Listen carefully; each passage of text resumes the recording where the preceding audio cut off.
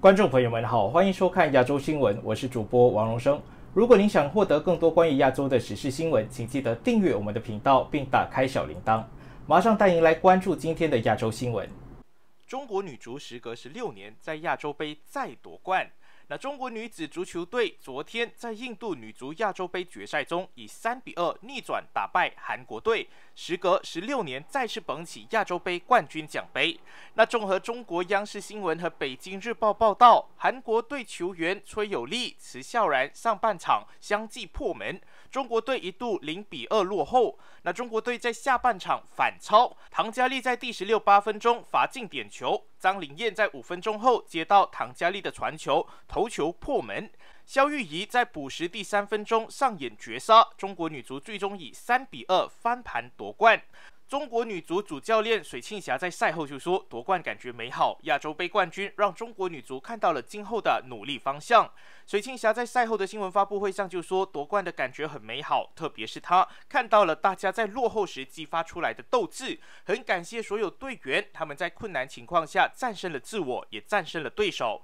水庆霞曾在赛前新闻发布会上认为夺冠值得高兴，但也并非是个了不起的记录。夺冠后，水庆霞强调，并非说拿到冠军后前路就会一帆风顺，在训练中仍会有很多问题。下一步将借助此次夺冠，对队员的心理和战术再进行细化和提高。新华网在微博上用了三句话来评论中国女足夺冠：逆转、绝杀，女足展现了什么是拼搏，什么是永不放弃。你永远可以相信中国女足，这才是中国足球最美的样子。那中国足球协会也在微博上恭贺中国女足夺冠。如果信仰有颜色，那一定是中国红。祝贺中国女足勇夺二零二二印度女足亚洲杯冠军，铿锵玫瑰，国人骄傲。美日为应对中国东海活动，拟在鹿儿岛部署无人机队。那美日两国据称，鉴于中国在日本西南群岛一带动作趋于活跃，正考虑在日本鹿儿岛的海上自卫队陆屋航空基地部署无人侦察机部队。那财经新闻报道，若此计划付诸实行，将是美军首度在日本自卫队基地部署无人侦察机部队。那日本防卫省九州防卫局主管一月二十七日造访陆屋市，对陆屋市主管表示，为了加强美日同盟威慑力、应对能力，有必要提升美国同盟的警戒监视能力。根据考虑中的计划，美日在陆屋基地部署拥有约七架无人侦察机 MQ 九的美军部队约一百人，部署主要目的是以侦察为主。那部署期间暂定约一年。MQ9 收割者是具长自空时程与一万米以上高海拔监视能力的无人机。那日本境内目前部署的无人机是美军在三泽基地、横田基地部署的 RQ4 全球鹰 Global Hawk。那自卫队明年度也预计在三泽基地成立同型机的侦察航空队。美军之所以考虑在陆屋部署无人侦察机部队，主要是因为中国在东海地区的行动趋于活跃。逾五点六万留学生赴澳，中国学生占不到一成。那澳洲政府去年十一月宣布放宽入境限制，至今两个月以来有超过五万六千名国际留学生入境。但随着北京与肯培拉关系持续紧张，中国留学生只占不到一成。那过去两个月抵达澳洲的五万六千名国际学生当中，有超过一万六千人来自印度，那占百分之二十八点六。由于中澳关系持续紧张，抵澳中国学生不到六千人。中国教育部在二零二零年以及二零二一年多次发布留学警告，指澳洲存在种族主义倾向。那中国新任驻澳洲大使肖谦上个月发出和解信息，那声称加强信任、消除误解，但澳洲官员持怀疑态度。澳洲国防部长达顿上周向雪梨二 GB 电台说：“我们希望与中国建立强大的友好关系。”但是，中国对印太地区的威胁是现实。那澳洲统计局上周四公布的数据就显示，国际教育行业因疫情遭受重大打击，行业价值由疫情前的超过四百亿澳元跌至去年十二月的两百二十五亿澳元，是二零一四年以来最低水平。中国一直是这一行业最赚钱的市场。业界一直担心中国学生会否减少。那澳洲上个月宣布向背包客和国际学生退还签证费，移民部长霍克就表示，这吸引了成千上万的学生涌入澳洲。专家们预测，中国将继续是国际教育行业的最大市场，只是近期国际航班不足，令中国学生无法赴澳。那澳洲国际教育协会行政总裁霍尼伍德就表示，预计今年全年会有更多的中国学生抵澳。他说，中国学生继续学习的愿望强烈，甚至是上网课，再加上澳洲作为一个出色学习目的地的口碑，预示着未来发展良好。那另一方面，澳洲总理莫里森昨日也表示，当局可能在不久之后向国际游客开放边界。国会将于本周辩论此事。先驱太阳报就报道，当局将于二月底前容许海外游客访问澳洲。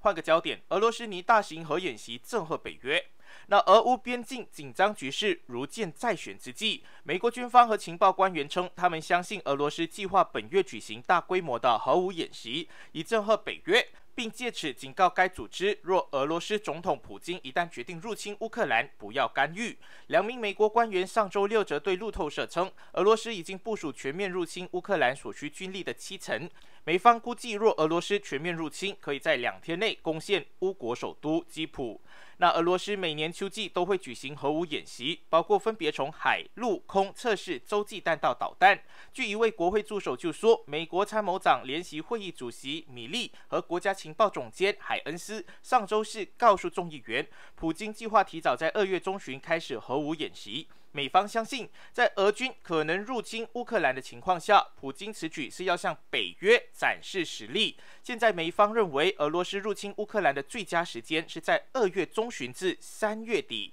那在入侵的同时举行核演，将向北约发出强而有力的警告。莫斯科的核力量是世界上最大的。根据美国科学家联合会称，俄罗斯的核弹头储备接近四千五百枚。华盛顿哈德逊研究所核武器政策专家海因里希斯就说：“如果他们在入侵乌克兰的同时这么做，将是一个令人难以置信的挑衅和不祥的讯息。”美国目前尚未确定普京是否已经决定入侵乌克兰，但华盛顿及其盟友越来越担心俄军在乌克兰边境附近集结的力量。那两名匿名美国官员告诉路透社，俄罗斯已经部署了全面入侵乌克兰所需军力的约七成，并正在向乌边境地区增派更多的营级战术组织。那美国官员就估计，俄罗斯全面入侵将造成惨重伤亡，乌克兰将有五千至两万五千名士兵阵亡。而俄军死亡人数将介于三千到一万人，平民死亡人数将达到两万五千人至五万人。而俄军全面入侵也会造成一百万至五百万难民逃亡，主要逃入波兰。中国今年春运潮不增反减，出游人次减百分之二。那在严格的疫情防控下，根据官方测算，中国今年春节假期七天，国内旅游出游。二点五亿亿人次，比去年不增反减百分之二，仅恢复至二零一九年疫情前同期的百分之七十三点九。今年春节之前，中国本土新冠疫情仍多点散发，加上举办北京冬奥，官方因而祭出严格的疫情防控措施，多地禁组组织跨省旅游。那首都北京市的本土疫情迄今仍未清零，周日新增确诊两例，目前仍有三个高风险地区和五个中风险地区。北京这两天迎来春节返京人人潮高峰，官方就提醒需要四十八小时内核酸检测阴性证明，加上北京健康宝绿码。才能返京，而且抵达北京之后，七十二小时内需要再做一次的核酸检测。根据中国文化和旅游部官网今天发布，二零二二年春节假期七天，全国国内旅游出游二点五亿亿人次，年减百分之二。按可比口径恢复至二零一九年同期的百分之七十三点九，实现国内旅游收入人民币两千八百九十一点九十八亿元，年减百分之三点九，恢复至二零一九年同期的百分之五十六点三。中国文旅部就指出，今年春节假期，探亲访友、都市休闲、乡村度假、冰雪休闲成为了市场主流；自驾旅游、家庭出游、小团定制、研学加非遗成为出游的主流模式。游客去郊区包个小院过大年，住民宿成为了假日的新宠。那根据发布，今年中国春节假期周边游加深度游模式凸显，进城旅游品质化、个性化趋势突出。数据就显示，省内游、跨省游比例分别为百分之七十八点三以及百分之二十一点七。进城自驾游、亲子游、主题公园游、冰雪游等短途休闲活动增量明显，在本地早年味成为了越来越多人的过年选择。中国文旅部也称，在北京冬奥热情持续高涨的带动下，冰雪旅游热度提升，成为今年春节假日旅游的新亮点。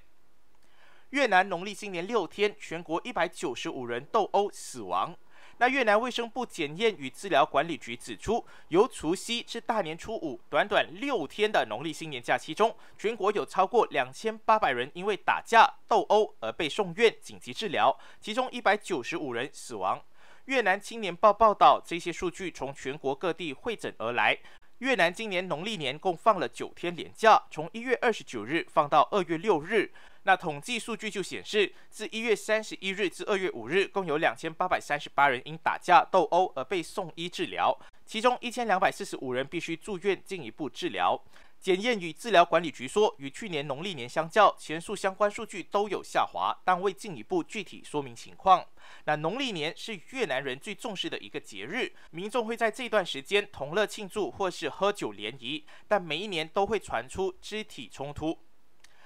新闻的最后，我们一起来关注中国船将以盟友身份免费赠送两艘潜艇给泰国。那中国提议赠送两艘二手潜艇给泰国，但目前泰国军方和国防部均未对此做出官方消息确认。那过去一周以来，作为管理这两艘潜艇的中方国有企业，已经协调并通过泰国驻华大使馆、国防武官处发布消息称，现公司有多艘的二手潜艇，预测这些潜艇能在泰国发挥价值。那目前泰方尚未确认中方是免费赠送，还是以友谊价出售给泰国。泰国军方就消息称，这是中方第一次官方表达意向。此前只是有新闻传出，与泰国副总理巴益商谈是否要将两艘潜艇免费赠送给泰国，但目前巴益副总理并没有做出任何的官方消息。那据悉，此前中国曾免费赠送两艘潜艇给缅甸，因此泰国推测，中国作为泰国的友好盟友，将免费赠送潜艇给泰国。好的那以上就是今天新闻的全部内容我是王荣生感谢您的收看与支持我们明天同一时间再会。